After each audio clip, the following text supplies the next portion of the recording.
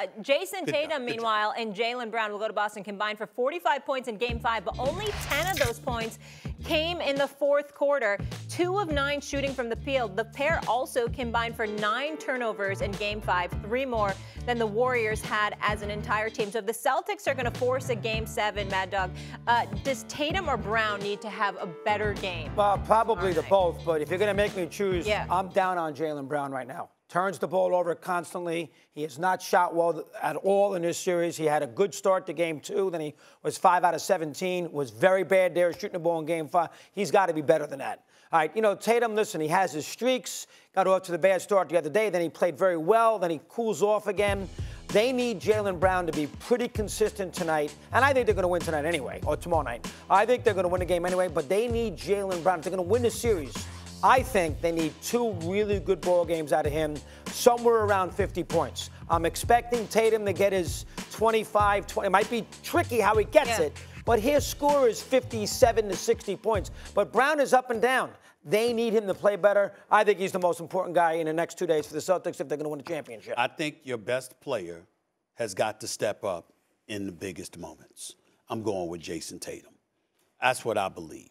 I understand that Brown has been up and down. Really, games two and game five were where he struggled. Every other game he shot better than 46%. Uh, so I'm not gonna. I'm not. I, don't get me wrong. He needs to play better, and he has turned the ball over. You're absolutely right about that. But so has Jayson Tatum. And Jayson Tatum, and more importantly, his play in the fourth quarter. He's just too gifted, too talented to be so pedestrian, so anemic in the fourth Yeah, quarter. Stephen A., what do you attribute that to? Why Well, kind of shrinking in JJ's right. fourth? JJ's right when you talk about how Golden State is amped up the, the pressure defensively. They're like piranhas out there. Put the ball on the floor, you you playing right into their hands. And especially when Steve Kerr goes with a smaller lineup. Anybody would tell you, anybody that knows basketball would tell you, if you are a tall dude, the last thing you want when you are dribbling the basketball is somebody who can get lower to the ground on you. They can cause you some damn problems. And when Steve Kerr goes and you put a Gary Payton Jr. up in there, okay, you leave Wiggins in there, okay, you got Clay, you got Steph, you got a Jordan Poole, you bring up the, you bring an Otto Porter in the game, stuff like that. This is problematic for a guy like Jayson Tatum who wants to put the ball on the floor, especially when you're playing for a team without that quintessential point guard who's the floor general and can get you the ball in your spots so you could just shoot. They've constantly found themselves in situations where they're trying to take dudes one on one. The next thing you know, you get into the lane and three guys are on you. And Jayson Tatum, what makes it so bad is that he's constantly looking for the calls. He's looking for help from the officials every time you turn around. You're not winning championships that way. At some point, come championship round, officials gonna look at you like, what you want me to do? You here. This is your job. We doing our job. Play. You got to do that. He's not doing enough of that, especially in the fourth quarter. And he's got to change that in order for them to push this to a game seven.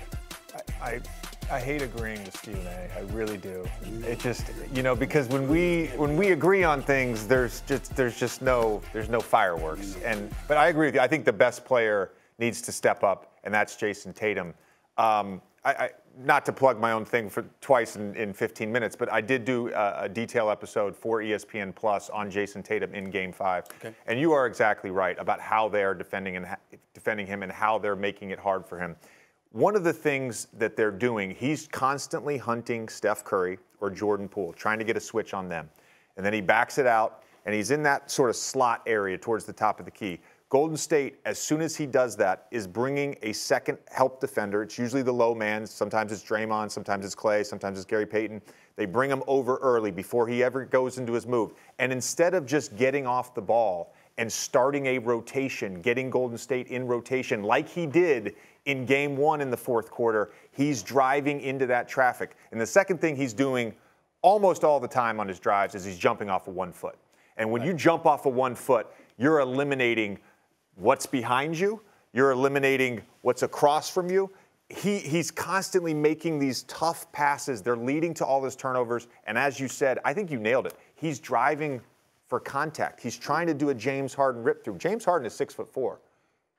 Jayson Tatum is 6'9, 6'10. Why are you trying to rip through on Steph Curry or Jordan Poole? You don't have to do that. You just got to shoot over the top. To your point about Jaylen Brown, by the way, I don't think they win game six and game seven unless both of them have big nights. You're probably right. Both of them.